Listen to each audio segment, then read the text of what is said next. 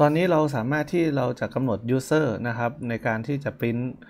เอกสารออกทางปรินเตอร์ที่เราสร้างขึ้นใน Raspberry Pi ได้แล้วนะครับ แต่ทีนี้ในตัว cups นะครับ หรือตัว print server ของ Raspberry Pi เราก็เราอยากจะทำให้มีการ control ได้ว่า user แต่ละคนเนี่ยใช้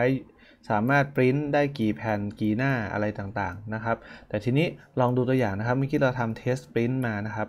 เรา test print มาเนี่ยหหน้านะครับ test print มา 1 หน้า ทีนี้ถ้าสมมุติว่าเราเกิดต้องการที่จะปริ้นอะไรเพิ่มเติมนะครับ สมมุติว่าเราถ้าเรามีเอกสารนะครับ มีเอกสารเป็นเป็น PDF แล้วกัน เป็น PDF นะครับ เป็นเอกสาร PDF เป็นประมาณนี้นะครับ ซึ่งมันมีอยู่ 3 หน้านะครับ อันนี้คือข้อสอบของวิชาที่เรียนนะครับ ทีนี้อาจารย์ทดลองสั่งปริ้นนะครับ ทดลองสั่งปริ้น โดยที่จะปริ้นเอกสารเนี่ยสหน้าตัวนี้นะครับ ให้มันเป็นไม่เป็นมัลติเพจแล้วกันเป็นหน้าเลย 3 หน้านะครับ สั่งปริ้นมาที่เครื่องปริ้น PDF ที่เราสร้างขึ้นเมื่อกี้นะครับ แล้วเราก็กดโอเคพอกดโอเคปุ๊บมันจะส่งข้อมูลนะครับ ส่งข้อมูลไปที่ตัว print server print server ก็ได้รับข้อมูลจะต้องเป็นหมายเลขเป็น IP เป็น ID เบอร์5นะครับ เป็นการ print print ID print job เบอร์5นะครับ เราลองดูปึ๊บ มันจะมีเบอร์ 5 เห็นไหมครับมีเบอร์ 5 แล้วก็เป็น PDF ที่ส่งเข้ามานะครับ เป็น PDF ที่ส่งเข้ามา แต่ทีนี้ไอ้หน้าเนี่ยงานบางงานนะครับ มันปริ้นอะโอเค PDF เนี่ยมันได้ PDF มันบอกว่ามันบอกว่าได้ไป 3 หน้า แต่ว่ามันจะมีเคสบางเคสที่หลายๆ คนต้องเจอแน่ๆคือเพจเนี่ยจำนวนเพจจำนวนหน้ามันไม่ตรง มันไม่ตรงครับ คือ พิมพ์มาเอาไม่รู้ว่าเป็นพิมพ์สามหน้า เป็นพิมพ์อาจสั่งพิมพ์สามหน้าออกหนึ่งหน้า เป็นเป็นเป็นตัวเลขที่มันออกกันหนึ่งหน้า ซึ่งมันมันไม่ตรงความเป็นจริงนะครับ ทีนี้ในวิดีโอนี้อาจารย์จะเอาเอา make sure ว่าวิธีไหนที่ทำให้มันตรงความเป็นจริงนะครับ การพิมพ์ต่างๆ ให้มันได้ข้อมูลที่ตรงความเป็นจริงนะครับ เพราะว่าจริงๆแล้วถ้าดูจากตัวนี้มันดูเหมือนไม่มีอะไรเนาะมันมันน่าจะถูกนะครับ มันน่าจะถูก สมมติว่าเดี๋ยวจะจะลองเทสในส่วนของ ตัว Microsoft Word นะครับ ใช้ Microsoft Word ซึ่งสมมุติว่าใน Microsoft Word ของอาจารย์เนี่ย เราเราจำลองอะไรดี เราจำลองตัวอย่างแล้วกันเป็นอะเป็นหนังสือตัวนี้แล้วกันนะครับจำลองตัวอย่างเป็นหนังสือตัวนี้อ่านี่หนึ่งหน้าครับ สมมติอาจารย์ Ctrl A ทั้งหมดเลยอ่าโฟ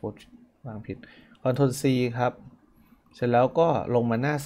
2 สมมติว่าอาจารย์มี 2 หน้าแล้ว 3 หน้า 4 หน้า สมมติอาจารย์มี 4 หน้านะครับ แล้วอาจารย์สั่งปริ้นครับ ไม่แน่ใจว่าจะออก 4 หน้าหรือเปล่า เพราะอาจารย์เคยเทสมาเนี่ย มันมีปัญหาพอสมควรต่อการนับจำนวนหน้าอันนั้น อันนี้ลองปริ้นดูนะครับปึ๊บ สั่งปริ้นไปแล้ว แล้วเข้าไปดูที่ Raspberry Pi ของเรา นะครับ แล้วก็ดู job นะครับ ที่ปริ้นออกมาเอ้ายังถูกครับ เป็น 4 หน้า ถือว่าดีเลยแหละนะครับ ถือว่าถูกต้อง แต่เเท่าที่อาจารย์เคยทำมามันมีปัญหาอยู่นะครับ ปัญหาจำนวนหน้าไม่ไม่ถูกต้องก็มีหลายครั้งนะครับ หลายครั้ง ฉะนั้นไอ้เรื่องของจำนวนหน้า อันนี้อาจารย์ขอในวิดีโอนี้จะเป็นวิธีการเช็คจำนวนหน้าที่ที่มันได้ผลจริง ๆนะครับ วิธีการก็คือมันต้องใช้ซอฟต์แวร์ในการช่วยนะครับซอฟต์แวร์ในการช่วย ซึ่งซอฟต์แวร์ตัวหนึ่งเนี่ยเรา search เจอจากในอินเทอร์เน็ตนะครับไอตัวเว็บไซต์ที่เขาอธิบายเนี่ยเขาใช้ตัวนี้ถือว่าใช้ได้ดี นะครับ ตัวนี้เราสามารถติดตั้งนะครับ ได้จาก a d t i m o v e Software เหมือนกันนะครับเขาเอาเข้าไปในระบบแล้วเรียบร้อย ตัวที่ 1 ที่เราต้องใช้นะครับ เรียกว่าตัวที่ชื่อว่า T4 ครับ T แล้วก็เลข 4 แล้วก็ cup นะครับ ตัวนี้จะเป็นตัวที่คอยจัดการจ็อบที่เข้ามาว่าจ็อบที่เข้ามาแต่ละจ็อบเนี่ยมันมันมันมีลักษณะเป็นยังไง มีจำนวนหน้าแบบไหนอะไรยังไงบ้างนะครับ ฉะนั้นเราจะติดตั้งตัว t f o c u s เข้าไปด้วยนะครับ แล้วก็กดโอเคอ่ากด apply ครับเพื่อติดตั้ง เราต้องติดตั้ง 2 ตัวนะครับ ใส่ password เข้าไปนะครับ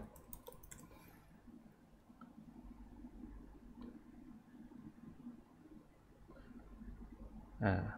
หลาย ๆ ครั้งอาจารย์ทดลองดูดูเหมือนจะถูกนะไอตัวที่พิมพ์ออกมาจำนวนหน้าเนี่ยจริงๆออกมามันไม่ค่อยถูก เพราะเราต้องการจะทำบัญชีใช่ไหมครับว่า แต่ user แต่ละคนจะพิมพ์ได้เท่าไหร่พิมพ์ได้มากน้อยแค่ไหนอะไรยังไงนะครับ บางครั้งไม่ถูกนี่ project เราจบเลยนะครับ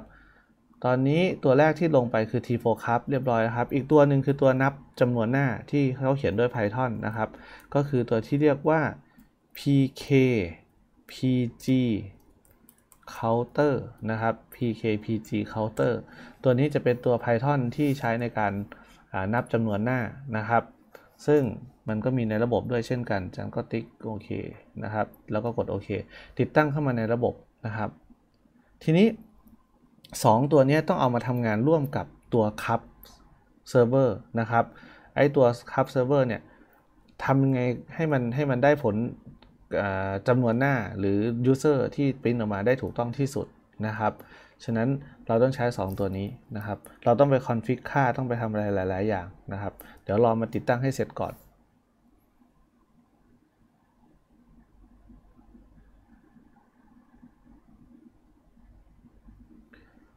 ดาวน์โหลดแพ็กเกจนะครับ มันค่อนข้างมันมันมันเป็น Python มันก็จะไปเรียก Python Python อะไรต่างๆ ด้วยเหมือนกันนะครับ อาจจะต้องใช้เวลารอนิดนึงเพราะว่ามันจะมีแพ็กเกจที่ติดติดกันติดติดกันมาจะเป็นพวก Python พวกนั้นพวกนี้นะครับหลายตัว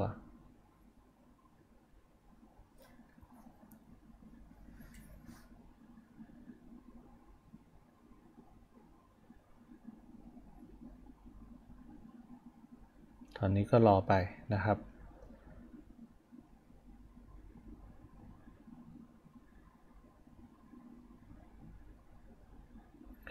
ในโปรเจกต์นี้ที่เราต้องการจะทำคือสมมติว่ามี user สั่งปริ้นมา เราจะต้องเขียนโปรแกรมมาเพื่อที่จะมาจับ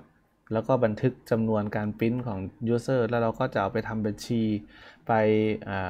control ว่า user คนนี้พิมพ์ได้เท่าไหร่พิมพ์เกินหรือยัง หรือถ้าสมมุติว่าเป็นคนที่เอาไปพัฒนาต่อไปก็อีกว่า เราสามารถไปเก็บเป็นค่าใช้จ่ายว่า user พิมพ์ไปเท่าไหร่ 5 หน้า 10 หน้าร้อยหน้าอย่างเงี้ยเป็นค่าใช้จ่ายเท่าไหร่ก็ไปหักเงินเอาอะไรอย่างนี้ครับเราทำเป็นระบบอย่างนี้ได้ แต่ว่าตอนนี้ในโครงสร้างหลักๆ ที่เราจะทำของโปรเจกต์นี้ ก็จะต้องลงโปรแกรมที่เราอธิบายมาในวิดีโอนี้ทั้งหมดนะครับ เพื่อให้มันสามารถจับจำนวนหน้าได้นะครับ ท่าที่อาจารย์ลองวันนี้ถือว่าโชคดีครับ เพราะว่าการจับจำนวนหน้าเนี่ยปกติแล้วจับไม่ค่อยแม่นครับ จับไม่ถูกถ้าในตัวของคัพเองเนี่ยจับไม่ถูกเลยแหละนะครับ ฉะนั้นพอเราลง 2 ตัวนะครับ ไอ้ตัวที่ที่เราลงเมื่อกี้คือ tea4cups กับตัว P pkpgcounter นะครับพอลงเสร็จปุ๊บมันจะมาอยู่ในตรงนี้ครับ มันจะมาอยู่ในอ่าใน folder CUPS เหมือนกันนี่แหละ เราลอง ls ขึ้นมาดูครับ มันจะมีเห็นไหมครับ จะมี config ตัวนี้โผล่ขึ้นมา 1 อันนะครับ มี config โผล่ขึ้นมา 1 อัน ทีนี้เราเข้าไปที่ตัว config ครับ sudo นะครับ nano แล้วก็ tea4cups นะครับ ตัวนี้จะเป็น โอ้โห เป็นค่า config เยอะ ๆ เลยของมัน แต่ว่าสิ่งสำคัญ ตัวนี้ยังไม่อธิบายว่าสำคัญตรงไหนหน้าตาเป็นยังไงสิ่งสำคัญที่สุดคือเลื่อนลงมาล่างๆเลยครับ อยู่ประมาณล่างๆเลย ไม่แน่ใจบรรทัดที่เท่าไหร่เหมือนกัน มันจะอยู่ตรงคำว่าคำว่านี่ครับ accounting ไหนล่ะเป็นไงล่ะเนี่ยครับ pre hook accounting ตัว t focus เนี่ยมันสามารถเช็คการสั่งปริ้นนะครับ ตั้งแต่ก่อนปริ้นแล้วก็หลังปริ้นได้ ในกรณีนี้เราทำ accounting นะครับ ตอนก่อนปริ้นนะครับ โดยที่มันจะเมื่อเมื่อมันเขาเรียกว่าอะไร เมื่อเมื่อมีการสั่งปริ้นมา มันจะออกข้อมูลเกี่ยวกับการการปริ้นของของของงานนั้นๆ ของจ็อบนั้นๆนะครับ รวมทั้งไปเรียก PKPG counter มาเพื่อที่จะมานับจำนวนหน้านะครับ แล้วผลลัพธ์ของการปริ้นนะครับ มันจะไปโผล่อยู่ที่ เดอร์หรือ directory ที่ชื่อว่า var log แล้วก็ print accounting นะครับ จุด log ตรงนี้ ฉะนั้นอาจารย์สั่งเอาcomment ข้างหน้ามันออกเมื่อกี้มันมี sharp ข้างหน้าอาจารย์เอา comment ออกก็คือสั่งให้มันทำงาน หลังจากนั้นอาจารย์ก็กด Ctrl X นะครับ แล้วก็ yes save ไป ทีนี้ T4 ครับจะทำงานแล้ว แต่ว่ามันจะทำงานได้ก็ต่อเมื่อ มันถูกตั้งค่า config กับเครื่องปริ้นที่เราสั่งให้มันทำงาน ตอนนี้เราต้องการจะให้ T4Cup เนี่ยมามาเป็นตัวจัดการมาดูมาคอยดูว่างานที่เข้ามาปริ้นในprinter PDF ตัวเนี้ยนะครับมันมันมีเขาเรียกว่าอะไร มันมีกี่หน้ากี่อะไรต่างๆ เราก็ต้องมาเซตกับตัวเครื่องปริ้นตัวนี้นะครับ ขั้นตอนแรกเลยนะครับ จะเซตอะไรกับเครื่องปริ้นตัวนี้นะครับ ถ้าจะเซตค่าในในตัว config นะครับ เราจะต้องทำการ stop นะครับ stop ตัว CUPS ก่อนนะครับ stop ตัว CUPS ก่อน เพราะว่าถ้าไม่ stop มันก็ยังเหมือนกับว่ามันทำงานอยู่ครับเราก็ stop ตัว CUPS ไปก่อน พอ stop เสร็จแล้วนะครับ การ config ค่าของเครื่องปริ้นนะครับ มันจะใช้ไฟล์ที่ชื่อว่า printers.conf นะครับ ฉะนั้นอาจารย์ก็จะ sudo นะครับ nano printers.conf นะครับ ตัวนี้จะมี printer นะครับ เห็นไหมมันจะมี printer ชื่อ pdf นะครับ printer ชื่อ pdf ตอนนี้มีตัวเดียวนะครับ มีตัวเดียว ถ้ามันมีหลายตัวก็จะยาวลงมาข้างล่าง printer ชื่อ pdf ตัวนี้นะครับ มันมีส่วนสำคัญอยู่ตรงนี้ครับ device URI device URI ก็คือพูดง่ายว่า port การเชื่อมต่อของ printer ตัวนี้มันไอตัว CUPS ต่อไปยังเครื่องปริ้นเนี่ยมันเป็น port อะไร ถ้าเป็นเครื่องปริ้นแบบออนไลน์ ถ้าเป็นเครื่องปริ้นแบบ local มันก็จะเป็นอีกแบบหนึ่งอ้าวมีเสียงอะไรดังขึ้นมา อ่ามันก็จะมันก็จะมาอีกอีกแบบหนึ่งนะครับ ทีนี้เวลาเราจะใช้ T4 ไปจัดการเครื่องปริ้นตัวนี้เขาให้ใส่อย่างนี้ครับ ใส่คำว่า T4 cups อย่างนี้ครับ แล้วก็ colon slash นะครับ ต่อออยู่ข้างหน้าตัว device URI device URI จะเป็นอะไรก็ช่างครับ ใส่ใส่ T4 cup ข้างหน้าแบบนี้นะครับ เสร็จแล้วแค่นี้เองครับของเครื่องปริ้นตัวนี้ของเครื่องปริ้น PDF ถ้าเราต้องการจะเอา tea4cups ไปใส่กับเครื่องปริ้นอื่น ก็ต้องทำแบบนี้เหมือนกันในทุกๆ เครื่องปริ้นนะครับจากนั้นเราก็กด Ctrl X แล้วก็ Y save ไป พอ save ไปเสร็จแล้วเราสั่ง Start นะครับ Start Start ตัว CUPS ขึ้นมาใหม่นะครับ จุดสำคัญที่เราจะดูว่ามันทำงานเรา add ได้ถูกต้องหรือเปล่านะครับ เรามาดูตัวนี้เห็นไหมครับ Printer ของเราที่เป็น PDF เนี่ย มันมี Connection อยู่ที่ตัว Device URI คือตัวนี้ครับ ตัวนี้ มันจะเป็นคำว่า cup PDF เฉยๆ นะครับ แต่ถ้าเรา refresh นะครับ เมื่อกี้เราใส่ T4 cup ไปแล้วใช่ไหม เรา refresh นะครับปุ๊บ มันจะกลายเป็น t4cup นะครับ ฉะนั้นพูดง่ายๆว่า งานทุกงานหรือ job print job ทุกตัวที่มาผ่านตัวเครื่องปริ้นตัวนี้ T4 cup จะมองเห็น นะครับ มันทำหน้าที่ในการเป็นฟิลเตอร์ในการมองเห็นข้อมูลที่วิ่งเข้าตัวปรินเตอร์ตัวนี้ พอมันมองเห็นเสร็จปุ๊บ มันก็จะไปนับไอ้ตรงที่เราเอา comment ออกเมื่อกี้นี้นะครับ มันจะไปนับหน้าว่างานนั้นมีกี่หน้าแล้วก็บันทึกลงไปใน log นะครับ แล้วเราค่อยเขียนโปรแกรมไปอ่าน log นั้นอีกทีนึงนะครับ concept จะเป็นแบบนี้ ฉะนั้นทดลองดูครับ เราทดลองสั่งปริ้นออกมาดูนะครับ ตัวอันเดิมของเรานะครับ จานสั่งปริ้นนะครับ ปริ้นปริ้นไปที่เดิมนะครับปริ้นไปอันเดิมปุ๊บส่งไปนะครับ ในตัว Raspberry Pi ของเราตอนนี้มี job อยู่เบอร์ 6 นะครับ ถ้าอาจารย์สั่ง refresh ปุ๊บมันจะเป็น job นี่แหละ job เบอร์ 7 มาหรือเปล่า job เบอร์ 7 มาแล้วครับ เห็นไหมครับ job เบอร์ 7 มาแล้ว เป็น job เท่ากันจำนวน 4 หน้านะครับ แล้วสถานะเป็น complete ก็คือ print เสร็จส่วนข้างล่างนี้อาจารย์ยังไม่แน่ใจเหมือนกันว่าเกิดอะไรขึ้น แต่ มันไม่ได้มีผลอะไรกับการนับจำนวนหน้านะครับ มันบอกว่าแค่ unsupported file อะไรสักอย่างหนึ่งมันดูเหมือนเป็น error แต่จริงๆ มันไม่ได้ไม่ได้กระทบอะไรกันกับการนับจำนวนหน้าของเราเลยนะครับ ทีนี้อย่างที่บอก T4 ครับมันจะนับทำหน้าที่ในการจับข้อมูลการปริ้นนะครับ ตอนนี้การปริ้นคือข้อมูลเบอร์ 7 ที่ส่งเข้ามาโดย user 1 ทีนี้เราไปดูหลอกไฟล์ดีกว่าว่า T4 ครับมันจับได้จริงไหมนะครับ เราเข้าไปที่ cd แล้วก็ var นะครับ แล้วก็ล็อกเสร็จแล้วสั่ง ls นะครับ มันจะมีล็อกเกิดขึ้นเห็นไหมครับ มีล็อกชื่อว่า print accounting จุดล็อกที่เราแก้เมื่อกี้นี้นะครับ ถ้าใครไม่ทันกับย้อนวิดีโอกลับไปดูก็ได้นะครับ เราลองเปิดดูนะครับ sudo nano นะครับ nano print accounting จุด log นะครับ enter จะเห็นว่ามันจะเกิดเป็นคอลัมน์ขึ้นมานะครับพอเรา config ไว้ในไฟล์ก็คือ ไฟล์ PDF เอ่อเครื่องปริ้น PDF เป็นปริ้น job เบอร์7นะครับ โดย user 1 มีการปริ้นมา 4 หน้านะปริ้นมา 4 หน้า ตัวนี้แหละครับ คือถ้าใครปริ้นอะไรมาก็ช่างนะครับ เท่าที่ทดสอบดูแล้วเนี่ย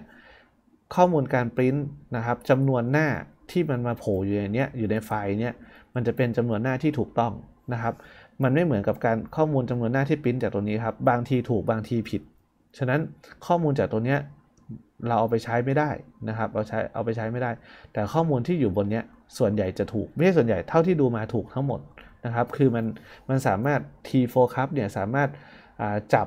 ข้อมูลการปริ้นแล้วก็สามารถเอามานับหน้าได้ โดยที่ใช้ไอ้ตัวนับหน้าที่ชื่อว่า PKPG counter เป็นตัวนับนะครับ มันเป็นการแก้ในค่าคอนฟิกที่เราทำมาในตอนต้นสไลด์นะครับ ฉะนั้นไม่ว่าจะมีการปริ้นมากี่ครั้ง เช่นตัวอย่างตัวนี้เนาะ อาจารย์เพิ่มเป็น 5 หน้านะครับ เพิ่มเป็น 5 หน้า 6 หน้าอะไรก็แล้วแต่ ทีนี้อาจารย์จะทดลองปริ้นอีกรอบหนึ่งนะครับปริ้นอีกรอบหนึ่งปึ๊บสั่งปริ้นนะครับ ตอนนี้ไม่รู้กี่หน้าละ ตอนนี้มีโอ้81 หน้า อาจารย์ไปก๊อปปี้อะไรยังไงใน 81 หน้า ตกใจตัวเอง ไม่เป็นไร อ้าวลองดูซิ81 หน้าจะรอดไหม กดสั่งปริ้นมาครับ87 81 หน้า มันจะแปลงเป็น PDF นะครับ เมื่อกี้เป็น job เบอร์7ใช่ไหม เราก็ refresh ครับปึ๊บมันจะเป็น job เบอร์ 8 มาหรือเปล่าเราดูก่อนซิเป็น job เบอร์ 8 ครับจำนวน 81 หน้าอ้าวยังนับถูกใช้ได้ใช้ได้นะครับ ยังนับถูกเป็น job เบอร์ 8 81 หน้านะครับ รอจนกว่ามันจะเสร็จครับ ไม่รู้มันจะเสร็จเร็วแค่ไหน ตอนนี้เพิ่ง 7 ตัวที่เสร็จนะครับก็คือเบอร์ 7 นะครับ active job ตอนนี้ job ที่มันกำลัง active อยู่คือเบอร์ 8 นะครับ อันนี้ก็รอดูไป ทีนี้ไอ้ลงเบอร์ 8 เนี่ย ถ้าเราดูที่ print accounting นะครับ มันขึ้นมาแล้วครับเห็นไหม มันยัง print ไม่เสร็จหรอก แต่ว่า print accounting มันนับจำนวนแล้วเรียบร้อยมี 81 หน้านะครับ job เบอร์ 8 ของ user 1 เรารู้เลย user 1 print มาตั้ง 81 หน้า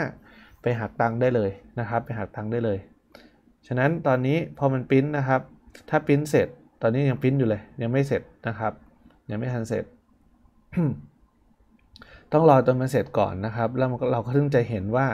สิ่งที่ปริ้นออกมาเนี่ยถ้าเราเปิดเข้าไปดูในโฟลเดอร์ PDF นะครับมันจะปริ้นออกมาตรงนี้นะครับปริ้นออกมาตรงไฟล์เนี้ยเนี่ยไฟล์เนี้ยนะครับ ตอนนี้เสร็จหรือยังยังปริ้นไม่เสร็จเลยครับโอ้โห 81 หน้าอ่าโอเค ไม่เป็นไร จะปริ้นเสร็จไม่เสร็จสุดท้ายเดี๋ยวมันก็เสร็จครับออกมาเป็น 81 หน้าตรงนี้แหละ ไฟล์จะค่อนข้างใหญ่นะครับ ไฟล์จะค่อนข้างใหญ่ 81 หน้า ฉะนั้นอันนี้ก็คือเราเราสามารถใช้ตัว CUPS print server ในการในการสั่งปริ้นข้อมูลนะครับ แต่ว่า CUPS print server มีปัญหาในการนับจำนวนหน้า ถ้าเราจะมาทำบัญชีจะทำได้ลำบาก เราต้องใช้ tea4cups เข้ามาช่วยนะครับ แล้วก็ไอ tea4cups จะทำหน้าที่เป็นตัวฟิลเตอร์ที่ตัวคอยดูว่างานที่เข้ามาเนี่ยงานปริ้นที่เข้ามาเนี่ย มันเป็นลักษณะยังไงเป็นเป็นไฟล์ประเภทไหนอะไรยังไง แต่ว่าการนับหน้า T4 ครับจะไปเรียกตัว P pkpgcounter มานับอีกทีหนึ่งนะครับ ฉะนั้นเราลองดูเนาะอันนี้น่าจะเสร็จแล้วไหมอะ complete แล้วนะครับ มันจะได้เป็นไฟล์ PDF มาเดาว่าน่าจะเป็นไฟล์นี้นะครับ มันจะออกมาเป็นจำนวนหน้ากี่หน้า ตอนนี้เป็นหน้าหนึ่ง มันไม่ได้เป็นไฟล์นี้หรอก อ่าวทำไมไม่ออกมาล่ะ